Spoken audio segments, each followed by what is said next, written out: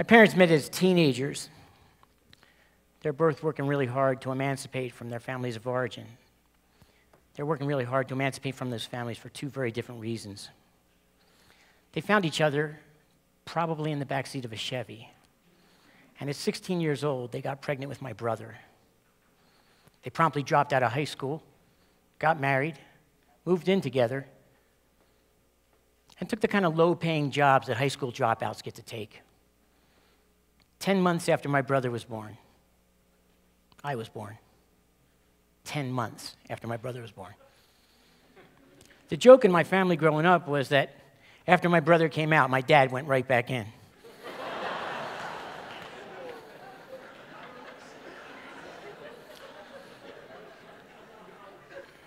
On the eve of my fourth birthday, my parents separated and divorced. All four of my grandparents are Ashkenazi Jews, making, obviously, my parents Ashkenazi Jews, making me uh, 96.2% Ashkenazi Jew. I did one of those DNA tests you can find on Facebook. Both my parents remarried by the time I was seven. My father, he remarried another Ashkenazi Jew. My mother, she remarried an Irish Catholic man. This was problematic for both of them for a couple different reasons. It was a problem for my mother because she married a guy who wasn't Jewish. Now you got to remember, this is the 1960s, the early 1960s.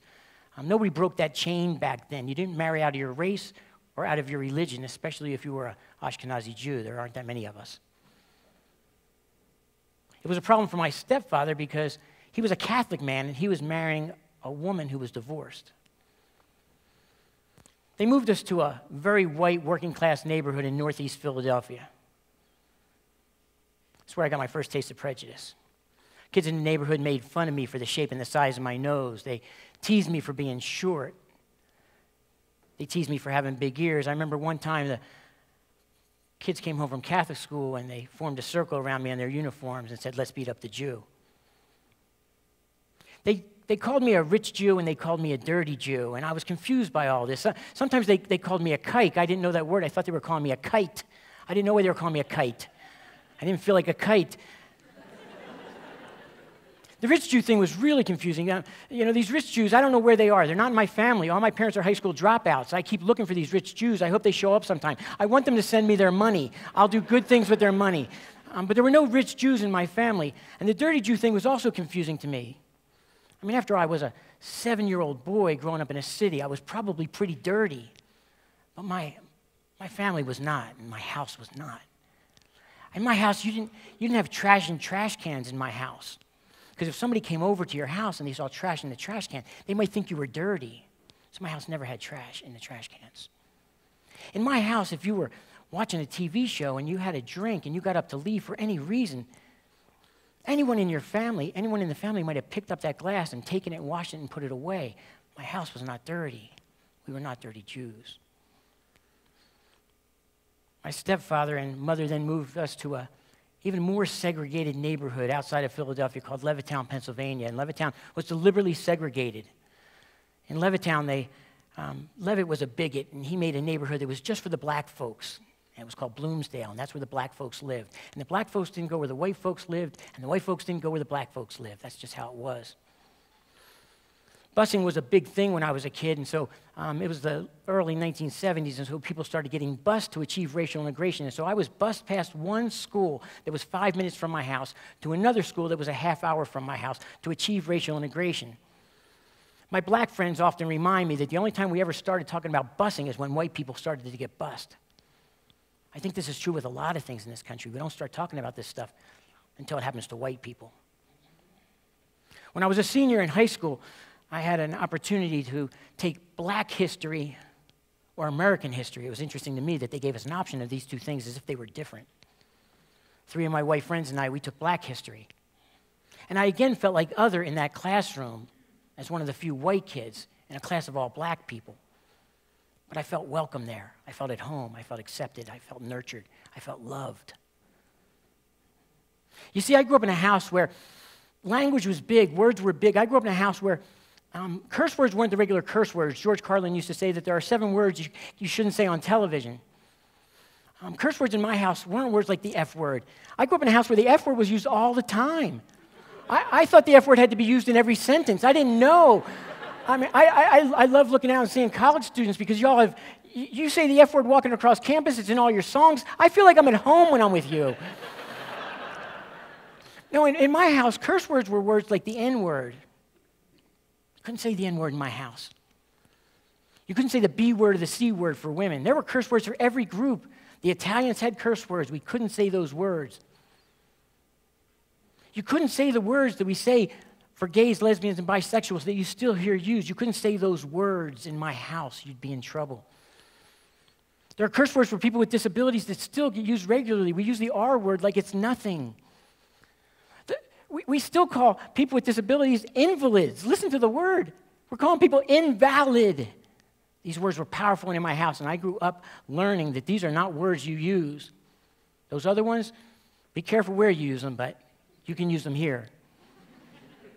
I also learned that a bigot is a bigot is a bigot, and so that if you hear somebody saying the N word when there's no black folks around, or the B word or the C word when there's no women around, you can bet damn sure, Mark, that they're saying dirty Jew when you're not around. You can bet damn sure they're calling cake when you're not around because a bigot is a bigot is a bigot.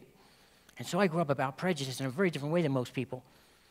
When I got to college, I, I wanted to study this thing about prejudice because it confused the hell out of me. It really did. It confused me. I didn't understand it. I passed for white, so I would hear prejudice all the time.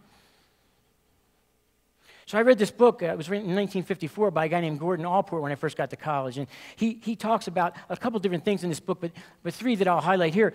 He talks about the idea that prejudice is normal, it's natural, it's, it's to be accepted. We're going to have prejudice and we're going to have stereotypes because we can't meet everyone of any certain group. So you're going to have stereotypes and prejudice based on certain things. Hell, if I'm the first Jew you ever saw, you might think this is what Jews are like. And you know what? We're kind of like this. This is how we look. He says that many stereotypes are based in kernels of truth. They don't come from nowhere, they come from somewhere. And he says not only is prejudice between groups, but prejudice is also within certain groups. Groups also have prejudice within them, not just between them. Now, I know about this because as a Jew, when people would ask me if I was Jewish, I would apologize and I would say, um, well, yes, almost as, as if I felt bad about it, which I did. I'd say, yes, I, I am, but, but my stepfather is Catholic. And, and it wasn't until much later in my life that I realized that being Catholic was just as bad as being Jewish. I, I, I didn't know.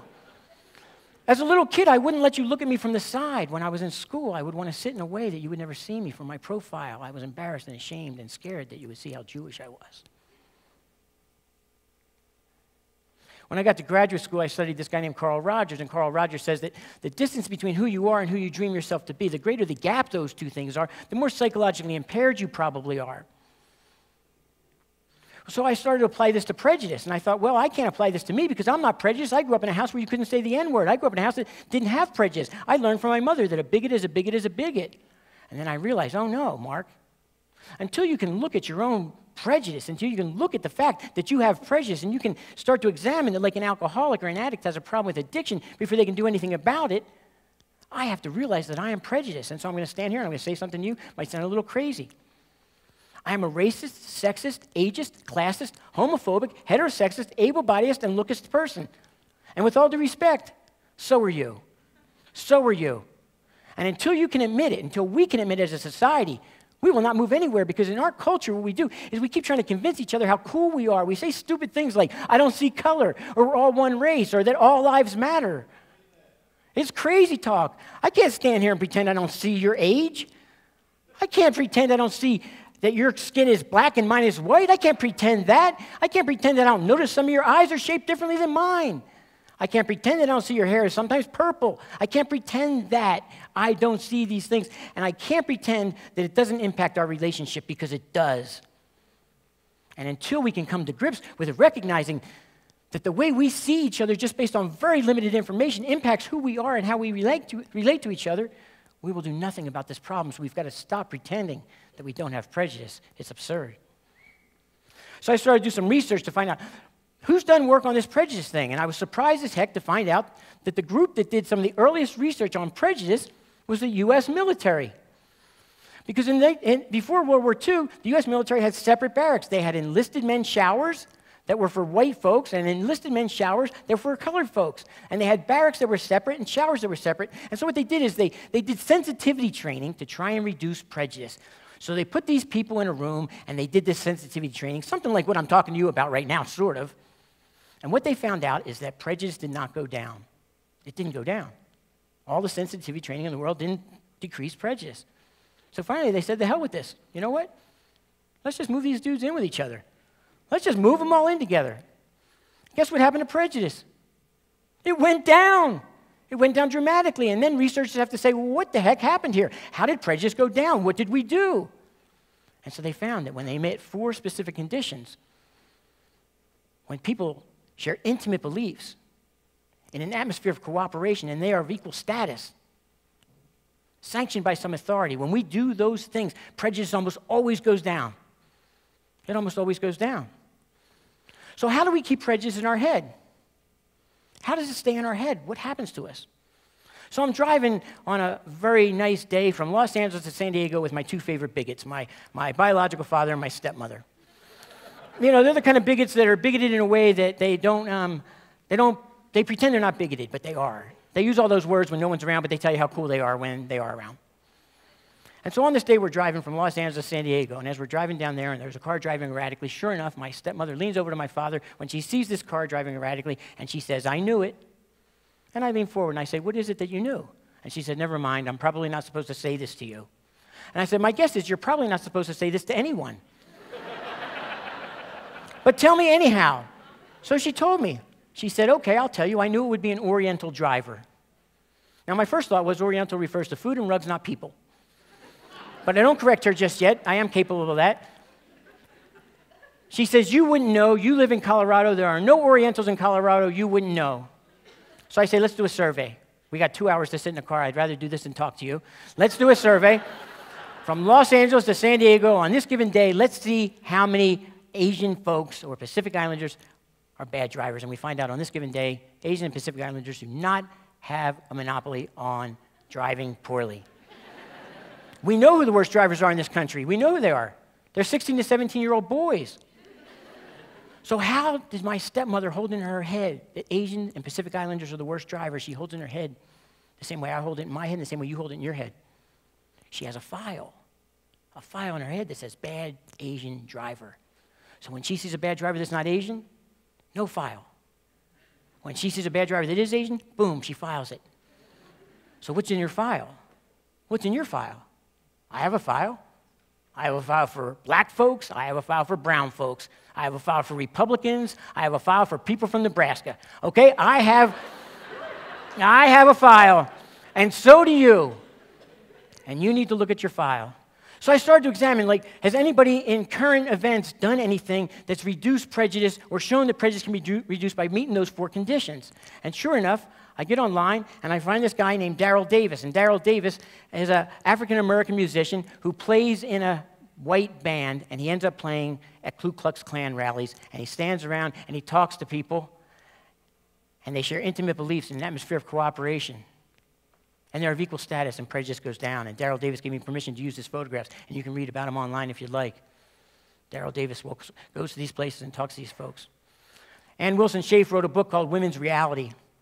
And in her book, she says that prejudice is like air pollution. When you're in air that stinks really, really bad for a really long time, you stop smelling the stink of the air. It's just the way the air smells.